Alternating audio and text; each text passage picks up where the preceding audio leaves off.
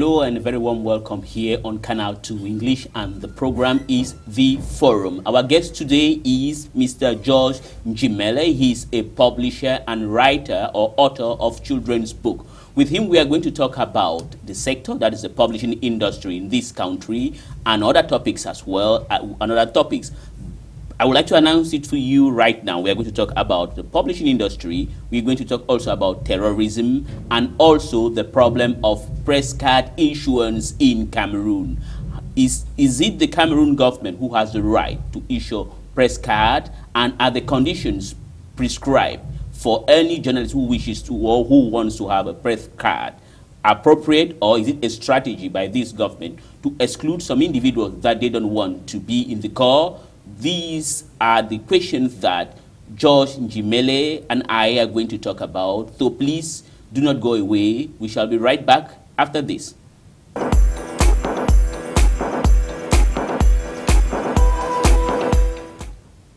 Good morning once again. For those of you who are just tuning in, you are on to Canal 2 International and the program is The Forum. Our guest today is George Njimele. George Njimele, as I announced at the introduction of this program, is a publisher and author of children's book.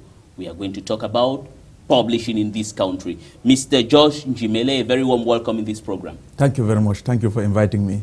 At a long last, you're here today. Really, really, it hasn't been easy because of my busy schedule. Okay. Now, let me ask you a question. You are into the publishing industry, and yes. how, what is this situation of the publishing industry in Cameroon today? Okay, it is quite a growing industry. Uh, presently, I can say it is uh, going forward, but uh, we wouldn't say it is already successful because it has a lot of problems, just like the other sectors in the country. Uh, it started uh, long ago. The early publishers they had problems because we were still using books uh, prescribed or books coming from the Western world but today the government has made efforts and uh, has uh, asked some Cameroonians to conceive and write books and publish, which can be used in the national program. Books that uh, reflect our cultural realities. So with that now, we have the opportunity to come in and try to publish, but it remains a challenging domain because uh, we don't yet have a good reading public. We don't yet have a good reading public, and that reminds me of uh, an article written by the uh, the weekly newspaper L'Effort, the English version, denouncing the fact that Cameroonians and Africans in general don't read, and in particular, young Cameroonians don't read. Now, in, when we talk about publishing industry in Cameroon, yes. it is not a holistic; it is divided culturally, that is linguistically. Yes. And are you into the into both public, in both languages, that is French and English, or you are only into the English uh, publishing sector, publishing uh, English oh. books? Yeah. Okay. Now, as a beginner, uh, we just started, as I will say, and uh, we are publishing just uh, English language text. And uh, what we publish for now, we publish educational material, that is books that are meant for school use. Because as I said, we don't have a reading public as yet. People are still very reluctant to read. Uh, people don't have that enthusiasm to get into the books and get knowledge from there. So, but when a book is prescribed in a school, you see there is that tendency for it to be used because teachers uh, put pressure on the government to put pressure that these books are important, they should be read. And uh, that is why you see children running for books and parents because they know they are going to be evaluated uh, during examinations on those books. So people read because they know they will benefit something that is immediate, not with the aim to have knowledge, long-lasting knowledge. Mm -hmm. Now, uh, publishing, you know, we have people publishing in English, we have people publishing in French, and we have also some publishers who are big enough and they're publishing in both English and French. But uh, some of us who are still op operating at a small scale, we are publishing uniquely in English. Uniquely in English. And now yes. you said, besides publishing, you are an author of children's book. Yes. And now in a society, a country that people don't read. Yes. Do you think there's a future in your sector? You produce children's book, but is there any future? Yes, there is a future. Uh, it's quite a challenge that I took, but I think it is going to work because I have to do a lot of work. You know, we are the pioneer uh, writers of children's books in Cameroon.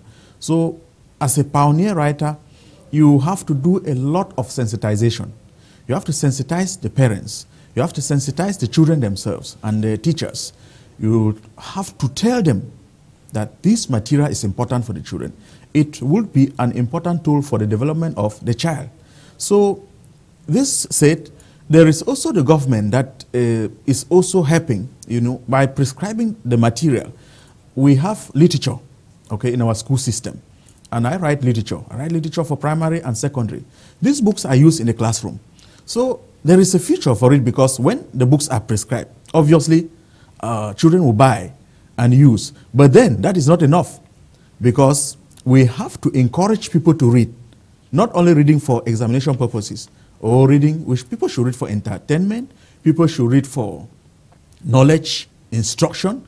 You read to get uh, cultural awareness, to know what happens within your country, to know about uh, rights, okay, customary rights, traditional rights, to keep abreast with your culture. Mm -hmm. Yes, exactly. Now, you, you, you, we, as an author and yes. a publisher, yes. well, you write, you know, you have a targeted audience, which are children. Yes. And at that stage, some of them like reading, or perhaps their parents want them to, have, to, to, to, to force them to read. Yes. How can you translate what you are doing into children, the children's sector of right of authorship where you are, yes. into the adulthood because adults don't read. That's yes. the problem. You yes. see, L'Effort Camerounais published something about it today, and you know yourself that Cameroonians and Africans don't know how, not, not don't know how to read, don't like to read. Now, how can you devise? Is there a is there a way for you to devise to encourage them to develop this reading culture?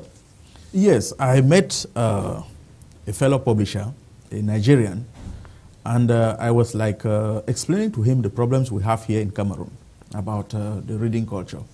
So he told me they have advanced a bit, that they had the very problems in the 80s, and uh, they had to work very hard, okay? Writing, they started with Onitsha uh, literature. They wrote books for, for the mass public they wrote very interesting literature books, you know, books that will fascinate, fascinate. Yeah, yeah. Yes, books that will be quite, yes, uh -huh. they, they, can excite, mm -hmm. you know, just people of all ages. Mm -hmm. And they took these books to the markets. You know, people selling in shops in Nigeria, most of them are learned, they're educated. So they took the books, very good stories, stories about their lives. And they took interest in these books. And that is how Nigeria today is developing a serious reading culture. I have a friend who is a publisher uh, Yoruba man, he told me he publishes literature and he prints sometimes 12,000 copies uh, for a novel, a novel that just comes out new, and he's able to sell all of that. 12,000 copies? Yes, people buy. People, people buy. buy. So he told me we should be working hard, and uh, truly we are doing our best. I think I am on the rightful track because I can tell you I have a lot of calls from children I am called almost every week. That's from children. children. appreciating, yes. Yeah, but the children adults don't. Kumba. Yeah, adults, no, adults don't. don't. at all. But how now do you devise a method? The Nigerian guy you met said you should write books that have a kind of frame of reference that refers to you and I. Yes. How can you now translate the Nigerian example to Cameroon. the Cameroonian context? Yes, it is possible. Uh, it's rather uh, unfortunate that that is not, not my priority for now. That is writing for adults. Adult, okay. Even though I will do that. Because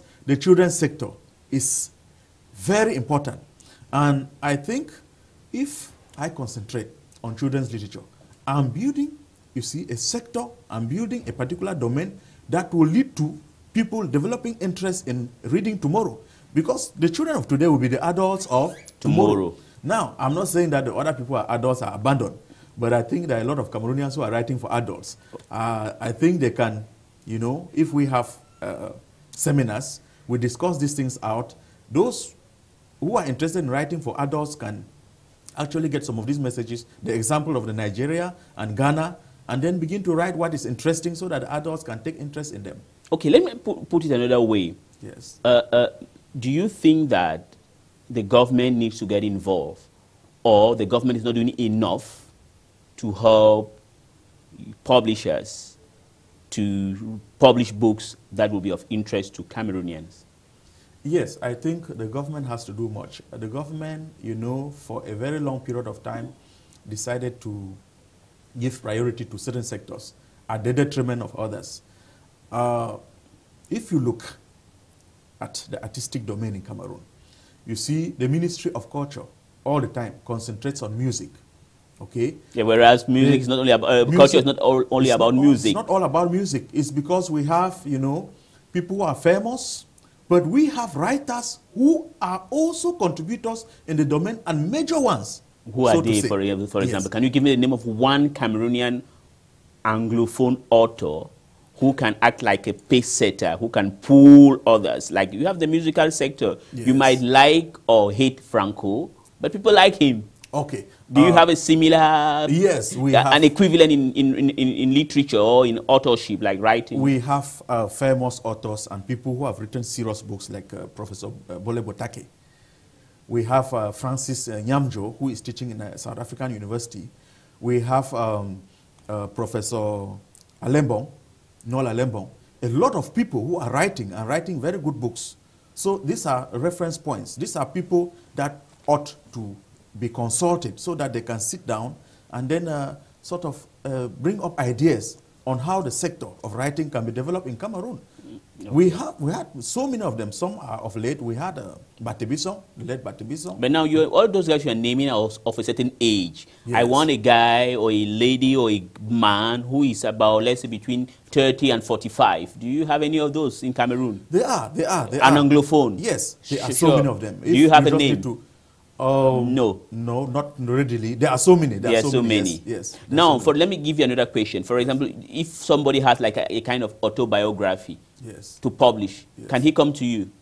Obviously, obviously. He can because come. we have a policy to publish a material from outside, uh, but since the marketing uh, becomes is always a problem, that is publicity and marketing. It's a burden, and then uh, the fact that the book that you are publishing, if we look at it and we discover that it may not really uh, sell. Sell, yes. Well, so we will advise you. You can self-publish, but we are going to give you uh, expert knowledge by providing our editorial services. We can proofread, we can do one or two things. We advise you on how to market your book Good. so that you go ahead and do so. Now, in, in, in, in terms of, let's say, self-publishing, yes. it happens everywhere, even in the United States. That's true, yes. Uh, what, you, what are the budgets?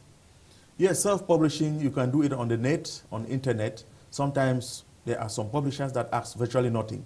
But you know, e-publishing is a problem because But I'm saying to you, for example, Peacock Publisher, if yes. a, self, a, a, a, person comes with his novel or with an autobiography, yes. he wants to self-publish yes. to you, yes. how much will he pay? Okay, editorial, we, uh, we can ask for editing fees, mm -hmm. just editing fees, depending on the volume of the work. Mm -hmm. Okay, and then uh, the subject matter. Then uh, we ask editing fees and uh, we can now supervise. We give you advice on marketing for free.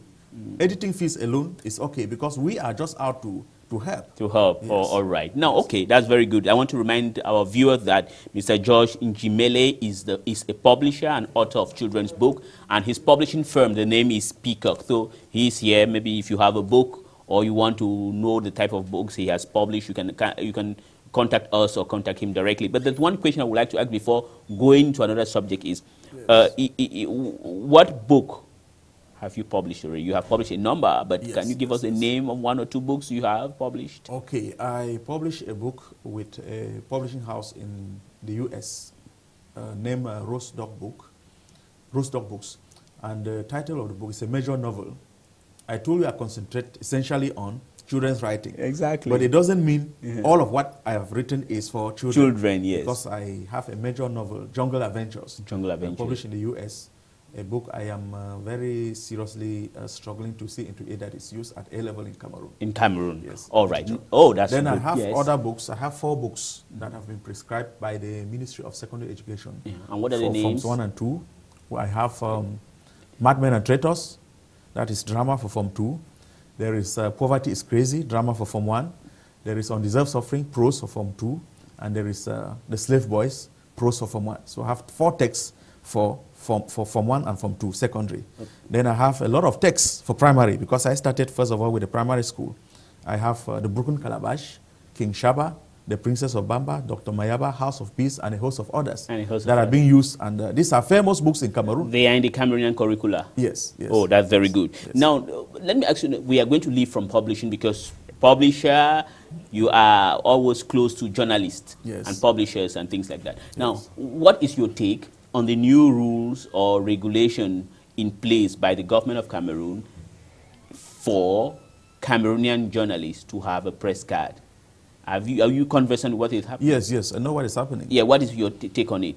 In fact, uh, I think um, matters concerning journalists should be uh, allowed in the hands of journalists to handle. Uh, journalism is a delicate profession, just like writing. It's a profession whereby you can have somebody who builds up the capacity on his own and becomes a famous and a competent and efficient journalist by his own right. So we have to be very careful with such professions. You know, it's not like the medical profession where you have to train a medical doctor for 13 years to become a surgeon or somebody trains as a lawyer, he does law for several years to be called to the bar, okay, to practice. Journalism is different. Somebody can do journalism. He needs just a degree or an advanced level, and then he starts, you know, practicing. Practicing, and practice makes perfect. We have major journalists in Cameroon who did not go to a journalism school. So the government should take this into consideration. If they are to issue cuts, they should meet genuine journalists, experts, those who have pertinent ideas about journalism, so that they can sit down on a round table and decide who should be a journalist. It shouldn't be a process of exclusion. Okay, it shouldn't be a pro- pro- process of exclusion, which means that you think the government has an idea to sideline some people or some journalists that they don't like. Maybe, maybe, maybe you have some ministers that may not be interested in certain guys, in certain uh, professionals in the domain of journalism in the country. You, it may not be the government. Because within the government, you have people. The government is made up of people. You have people who are biased, ministers, directors, who think that some people should not function at all in certain professions. I can have enemies, you know, as a writer, because maybe I've written something that somebody thinks it is against. Against him. Okay, so this may be the situation. So, in order to solve this kind of problem, the government should be very, very, very careful. It should call a group of people, a group of professionals that are unbiased, mm-hmm. that should sit down, okay, and then sit down on a round table and determine the rules. Who becomes a journalist? Why is it that somebody should not be a journalist? All this should be looked at. It shouldn't come from a government which maybe, you know, they, uh, I can say, some kind of dictatorship, some kind of ideas that are stereotyped because they want to exclude certain people. Okay, if I understand, so you share the same idea like what the Cameroonian Journalism Trade Union, the SNG in French, Yes. headed by Denis Nkwebo, Yes. they are against the new rule by the government. So you, you share the idea. I share it. I You share it. Yes, yes. Ok, all right. Now, another question which I would like to ask you is on this terrorism. What is your own take on what is happening in Nigeria, in Kano, and in France? Yes, let me start with, uh, with France because uh, that is uh, the talk of the day. Why do you want to start with France? I want to you- start Yes. with France because that what we, we are talking about France, that is an issue that is uh, largely uh, talked about, okay, publicized, and we know why it is that way. It is that way Why- because of the fact that France is a superpower. Yeah. And France, you know, is a Western country that has a lot of support. They have their brothers and sisters. We have America, we have uh, Belgium, we have uh, Britain. These are, you have, when you touch France, you have touched all these people. Now they me- work in a group. Yes, I'm sorry to interrupt you. Yes. But don't you think that they are overdoing it? Because a day before the Paris attack, there's a similar horrendous attack took place on the outskirts of Beirut. Attacks have been taking place in Cameroon, in Nigeria, but it seems not to interest Western media. But why is it that if it concerns France, it becomes an international issue? This is the problem. This is the problem. You know, France, America, and other countries, these are arrogant nations. They are people who believe when they breathe, we should live. Okay? These are people who think they are untouchable. And so any slightest thing that concerns them, it becomes something that the whole world should know about. And people should feel bad, people should sympathize with them, and so on and so forth. Whereas we have people being killed in northern Cameroon, the Adamawa. We have people being killed in northern Nigeria. Not long ago, students were killed, I think in Kenya. In Kenya, yes. Yes. Lots and lots of 159 students, yes. yes. Nothing happened. Okay. But when it concerns France, you see, the media comes in, you know they have a very powerful media, and then as they are supported, it's a superpower. So they want to focus all cameras on them. On them. themselves, Yes. Now let me ask you another question. Some people also think that it is because we Africans we don't give enough value to our own problems. Like what happened in Kenya, how many African leaders stood up and sympathized with the Kenyans? What happened in Nigeria, nobody stood up. Is it not because we Africans don't give value to humans? Hence, our problems are not given consideration. It is not the case. We, we give value to humans. But, how come that? How come th- that there is we? a problem. Yeah, We- how come our, our solidarity is weak. we, we are not? Soli- uh, do we have any solidarity at all? It is weak. Yeah, we have a, just a bit of it. And then there is fear because these supernations are looking at us. But why? see What fear, sir? I'm sorry to interrupt you. What type of fear? The president of Republic of Benin Yes. declared a one day of national mourning in Benin, whereas people are dying in northern Nigeria. He has never done such a thing. The, eh, the members of parliament in Ivory Coast have marched to sympathize with the killings in France, but the killings in Cameroon, the killings in Kenya, the killings in Beirut, no African, nobody cares. Do you think that is normal? This is the question. This is what I would like to point out. Yes. Who organizes this? You know, these are not really the representative of the people. These are few individuals who are to benefit something from France. You know, when you are put somewhere, okay, as a puppet leader, the obvious situation is that you always respond to your master, you to the dictates of your master. You have to compliment your master. You have to sympathize with him when he is in crisis. You have to attend to him so that he should be happy with you. He should always share whatever cake he has with you. Okay. That so is the situation. are you trying to say the presidents of Ivory Coast, the president of Benin are puppets of France, hence everything that happens to France, they are more interested Yes. than what happens to Africans? They are gaining, and the population is not gaining anything. These are individuals who are gaining a lot, and they are afraid of their positions. Okay. That is why they do what they do, which is obvious. Let me ask you another question before we're going to round off this program. Yes. Do you understand that in Cameroon, most Cameroonians seems to celebrate at what is happening in France? Do you, can you explain to me one Yes. yes. It is very clear. France, French policy abroad, it is very obscure and it is uh, very, very dangerous. The French policy abroad. Let me tell you, the Islam- Islamic State, those who are claiming okay, responsibility for the, what has happened in France, for the attacks, these people, they have something to say. I have followed Muslim leaders in France. They said there are problems. There is exclusion in France. There are students in France who are French men, young Muslims in their 20s, in their 30s, that are not catered for. They are unemployed. No jobs for them. They are excluded.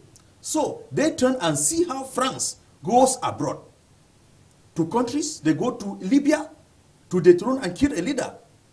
They come to Cameroon, they are struggling to control seaports, to control this and that, and then they try to destabilize. It is wrong.